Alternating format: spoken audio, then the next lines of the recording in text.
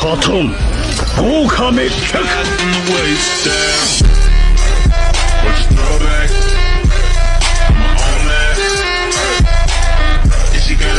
Heyo guys welcome back to the channel this is a story about what if Naruto the Melt, as a child, Naruto is taken in by Sarutobi to be his chosen successor to the mantle of Hokage.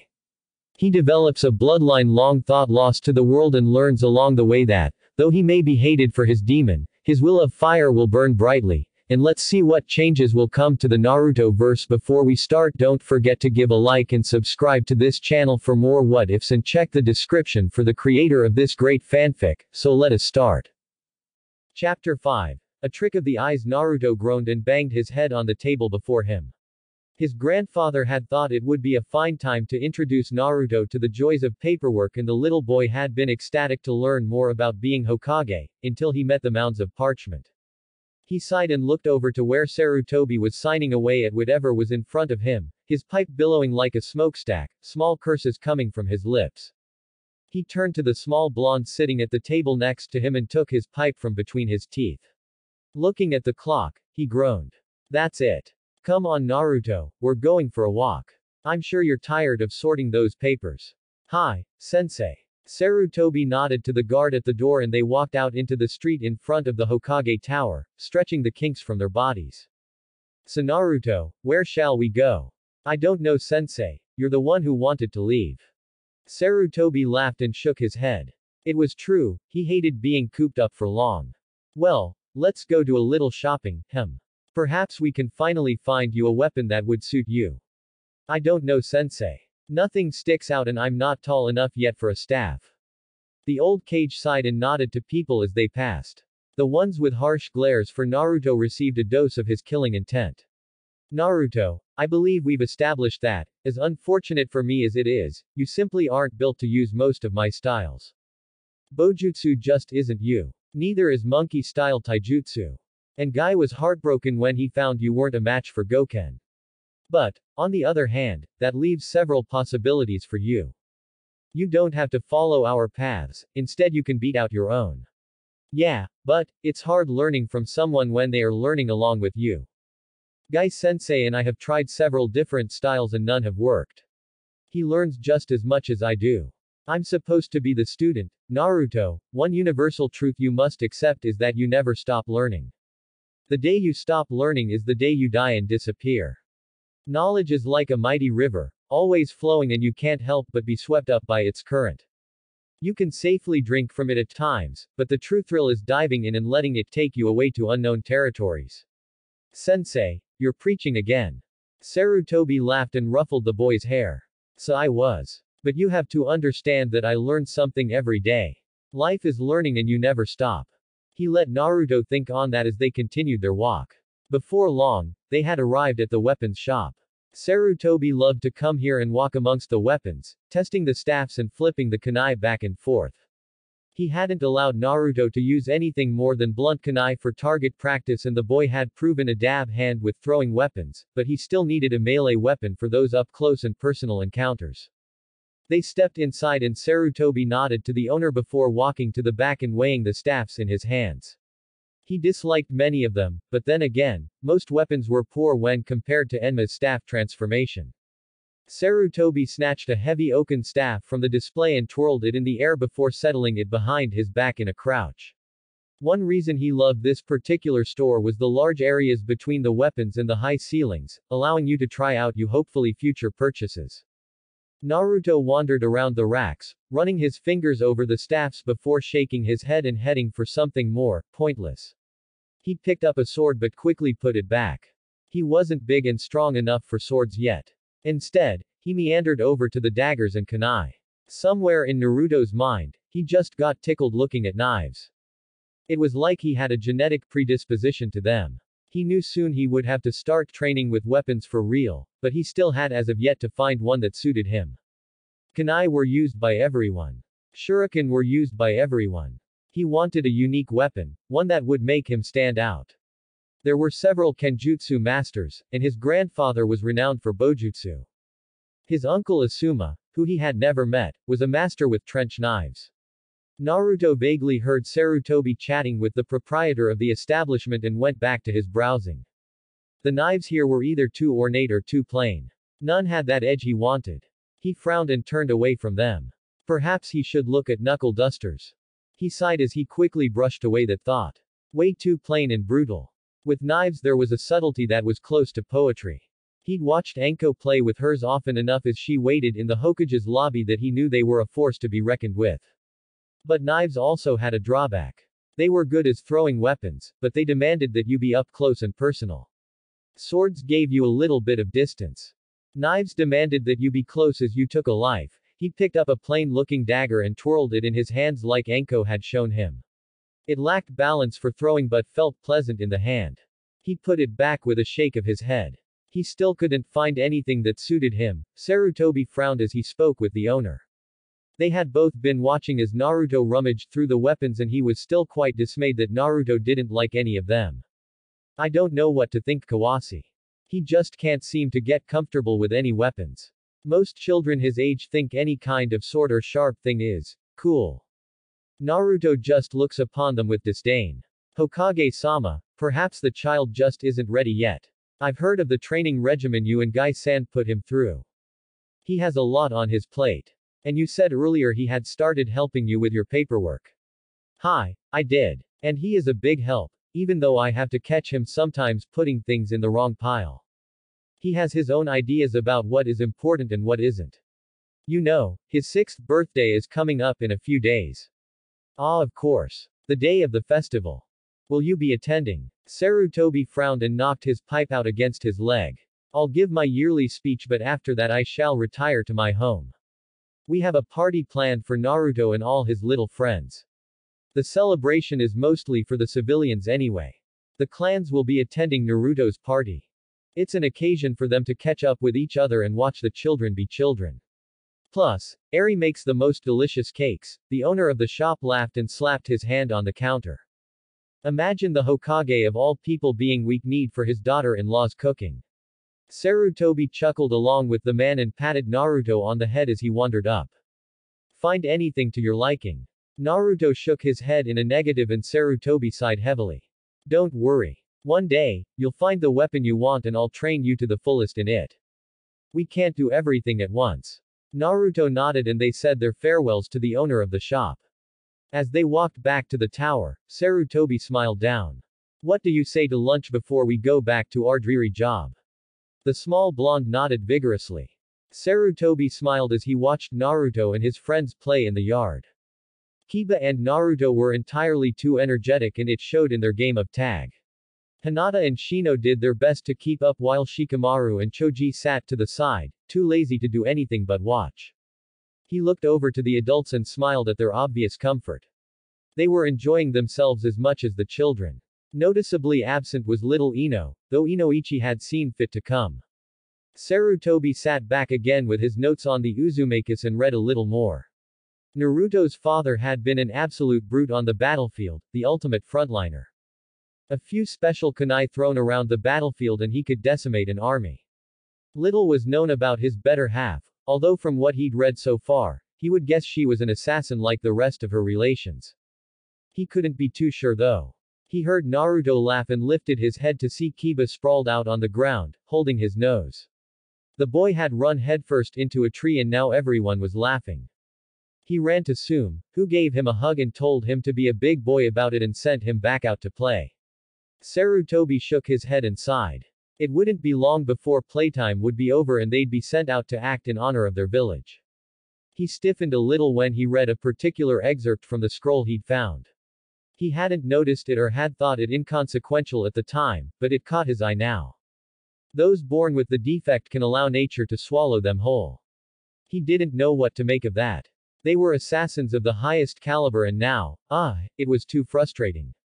He sat the notes down and watched the children play some more, before he felt someone standing at his side. Hokage-sama. Ah, Guy. What can I help you with? I just wanted to drop in and wish Naruto-kun a happy birthday. It isn't often he gets a day like this anymore. I agree. I keep the boy quite busy when you're not teaching him. How is he progressing by the way? Quite well. He isn't a master, but he won't be helpless when it comes to taijutsu. He finally showed me his Tsuchi Bunshin the other day finally. He is quite proficient with it. Hi, I am quite proud of him for learning it so quickly and improving himself with it. He's come far in two years. Hi, he has. Excuse me, Hokage-sama, I'm going to give Naruto his gift before I have to go. Sarutobi nodded and pulled his pipe out, but found his hands suddenly full. He blinked at the little bundle shoved into his arms and found himself looking up at a fuming Eri. Hold him please while I go inside and change. What happened? Your grandson thought it would be a good idea to upchuck all over my new dress. I'll be right back. Sarutobi chuckled and bounced Konohamaru on his knee while the little boy squealed with delight. You shouldn't have done that you know. Now your mother will be upset with you. Konohamaru just giggled. The four children lay on the ground panting from their efforts to catch one another. Kiba and Naruto had finally called a truce and decided to relax. Shikamaru and Choji ambled over as they all sat in a circle and chattered. Mom says that I might be able to get a Ninken in a couple years, but I want one now. She just doesn't understand. Um, Kiba-kun, maybe you just aren't ready yet. Kiba gave Hinata a pouting look and she giggled into her hand. Naruto grinned at his feral friend and Fang fellow. Maybe you aren't Kiba but don't worry. When you get one, I'm sure it'll be really cool. Shino pushed his miniature shades up his nose and nodded. Hi Kiba, but having a companion is also a large responsibility. My Kikai bugs require constant watching and father has told me that the older I get, the larger the colonies get. They will require even more care. Kiba hung his head lower and sighed. He hated the word, responsibility. Before any more conversation could start up, the group heard footsteps and turned to see a very muscular man clad in green. Naruto beamed and leapt to his feet. Guy sensei. Yash. Hello Naruto-kun. I hope you are having a most youthful birthday. A collective scream of his name from the adults made Guy wince and rub his head sheepishly before turning to a group of wide-eyed youngsters and one grinning Jinchuriki. He knelt down in front of Naruto and produced a scroll from his belt. Naruto cocked his head to the side and pointed at the scroll. What's that sensei? This, Naruto, is a sealing scroll. Inside of it, is your birthday present. Tell me, have you studied seals yet? Naruto shook his head and Guy sighed. I would suggest you study them then. There aren't many seal masters in the world and it is a sorely needed skill in this world. I'll show you how to use them and you can keep the scroll as well to study okay. Naruto nodded and all the kids watched as Guy used his chakra to unseal Naruto's present. Out from the scroll popped two books, two bags full of what looked like game pieces, and a double-sided game board. Naruto looked at his teacher, his eyes asking the unspoken question. This, Naruto, is a game board for playing Shogi and Go. These games have been revered throughout the ages as helping to hone awareness and strategy for the battlefield. I want you to learn how to play them and when you do, we'll play a game. A healthy mind is just as essential as a healthy body. Never let it be said I have a totally one-track mind. Naruto hugged his sensei's neck and thanked him for the gift, while the others looked strangely at Shikamaru. He was looking hungrily at the game board, as if he wanted to claim it as his own. Once Guy left and Naruto sat back down, Shikamaru pointed to the game board. Are you going to learn to play? Naruto shrugged and grinned. I intend to. If Guy sensei says it will help me, then I'll learn. Shikamaru grinned and flopped down in front of Naruto, the board between them. I can show you how to play. I love having someone to play board games with. You know how to play these. Shikamaru nodded his head vigorously and flipped through the book.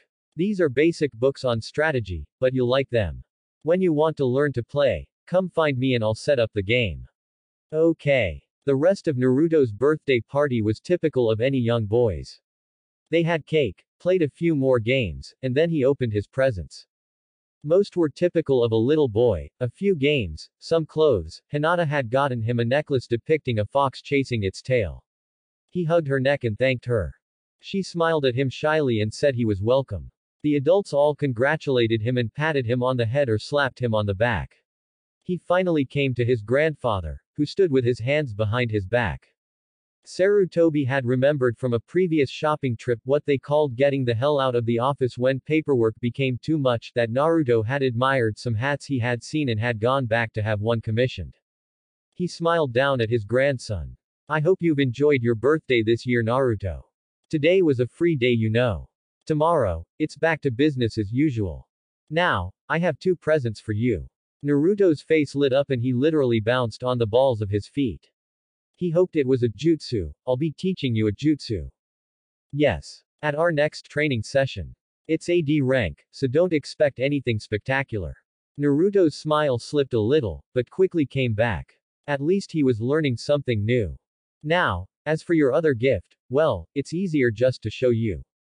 From behind his back, Sarutobi presented Naruto with a copy of his Hokage's hat. The little boy laughed happily and sat the hat on his head. On top of it was the kanji reading, Shadow of the Shadow. Naruto loved it. Sarutobi laughed and clapped the boy on the shoulder. You can't take mine yet, but that should tide you over for now. I expect you to wear it when we're in the office of course. Naruto nodded his head hard, causing the silken hat to bob up and down.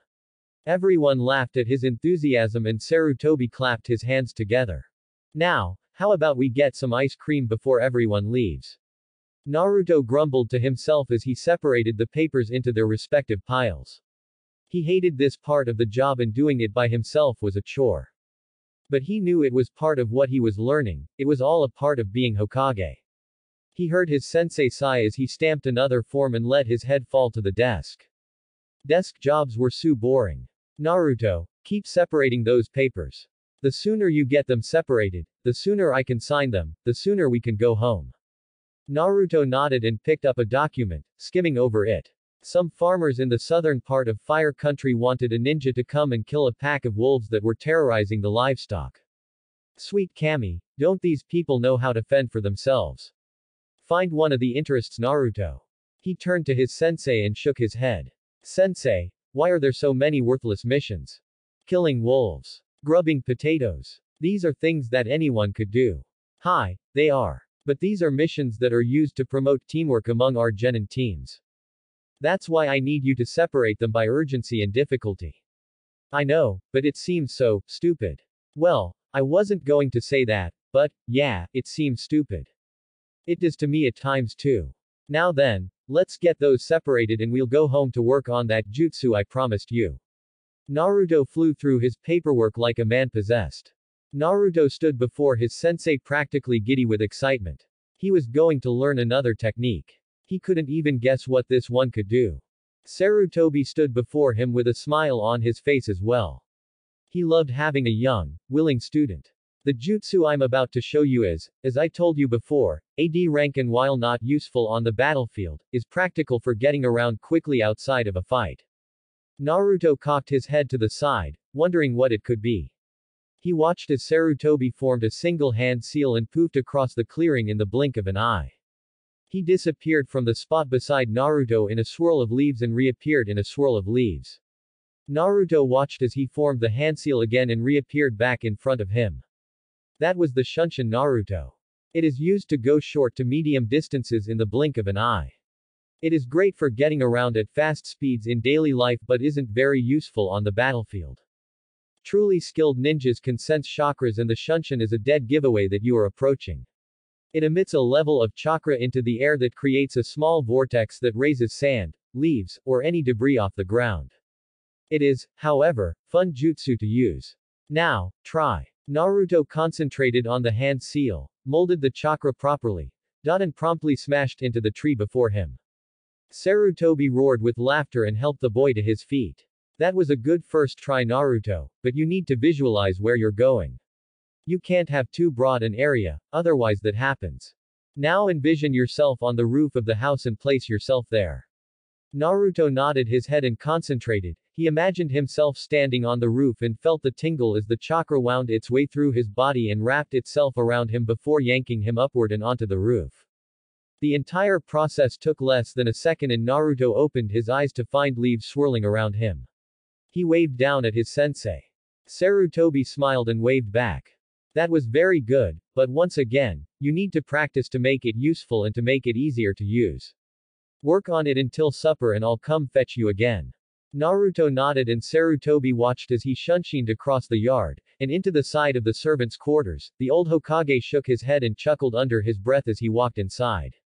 Yahiko watched as his father taught his son the Shunshin and nearly died from laughter when the boy crashed headlong into a tree. Watching Naruto made him wonder about his brother, Asuma. He watched his father head into his private study and followed in behind him. Sarutobi glanced up when he saw his son enter and swung high head back down to continue reading. Father, have you received any word from Asuma lately? Sarutobi sighed and closed the book he had been reading before rubbing the bridge of his nose. No, there has been no word from him since he left to join the Guardians. I don't know if we'll ever hear from him until he wants to come back home. I wish he would though. Why? Another hand in Naruto's training. The aging Hokage frowned at his son and leaned back in his chair. Not just that, no. I miss my son and I'd rather not see him off getting killed for something I don't believe in. We didn't part on the most amicable terms, you know that. I just want my son back home. Forgive me, father, I didn't mean to be rude.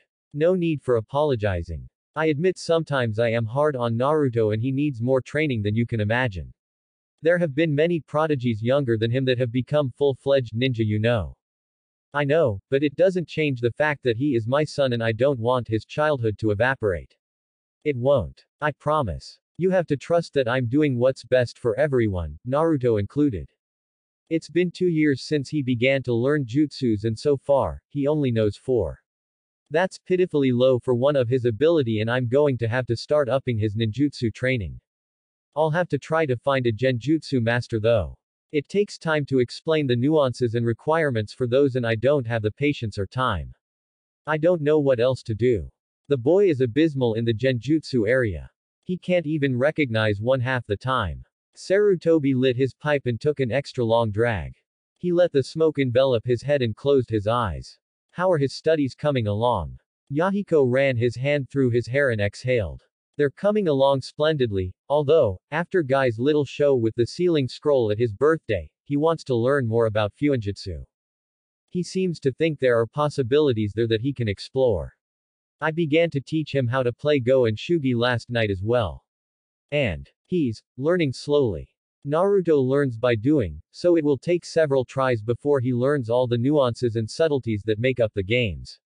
He tries to be too forward when he plays. Well, he is only 6.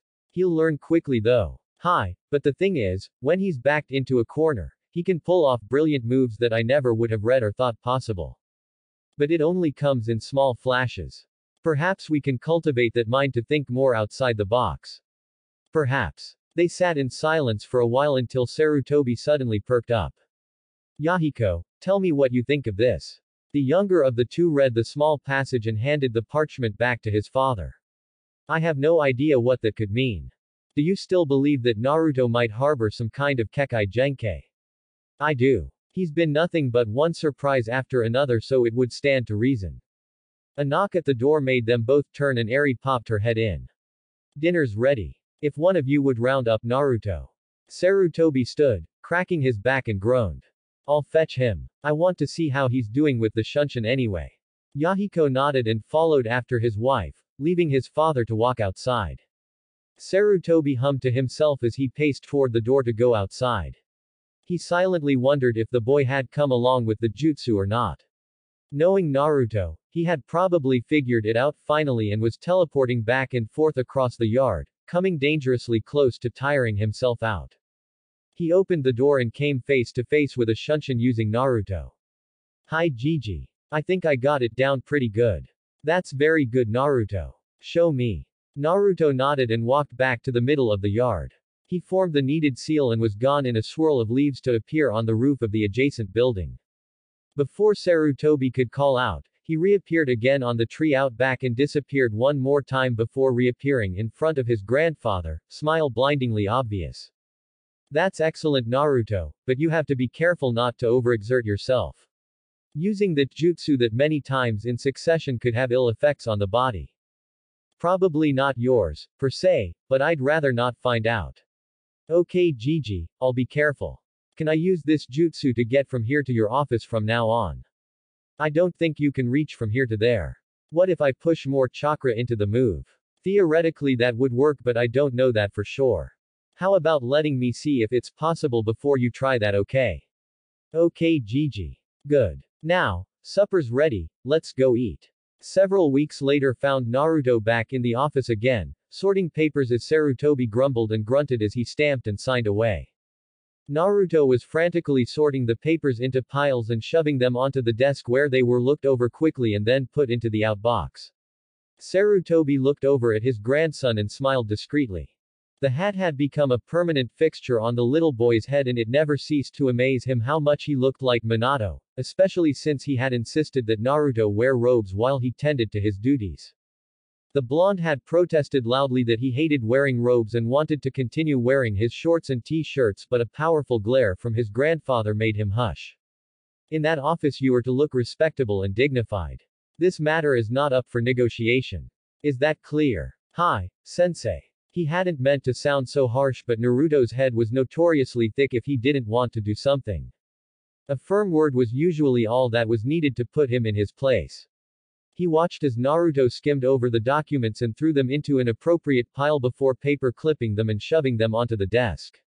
He couldn't ask for a more able helper, although, it was free labor for the village, a training mission if you will. Sarutobi suddenly remembered that he had left an important document at the compound and needed it signed by that day. He couldn't leave, but he could send Naruto. The boy would be grateful for the opportunity to leave for a few minutes. Naruto, I need you to run an errand. The boy didn't even look up, just kept sorting the papers. Sarutobi smiled. At least he was learning to multitask, a vital skill for a seasoned Hokage. Hi sensei. What do you need me to do? I forgot an important document at the house. Could you run fetch it please? Naruto growled and pushed back from the desk. He was so close to finishing before lunch too. Without thinking he formed the seal for Shunshin and disappeared, leaving a wide-eyed Sarutobi in his wake. Naruto swept into the study of his grandfather quickly and acquired the document before making the seal again and poofing away. Sarutobi had been counting on the clock how long it took for the boy to get back. Walking was a good 15 minutes away, at a ninja sprint a good 5. Naruto was back in 3. The old Hokage took the paper offered him and watched as his apprentice went back to his sorting like nothing had happened. A child shouldn't be able to shunshin that far. Most adults couldn't make it more than a couple hundred yards if they were in top shape and great at control. Naruto, how did you get this? He didn't look up from his sorting. I used shunshin to get into your study. How? The boy looked up exasperated. Sensei, I did it just like you told me. I used the seal, molded the chakra, and applied control while envisioning where I wanted to be.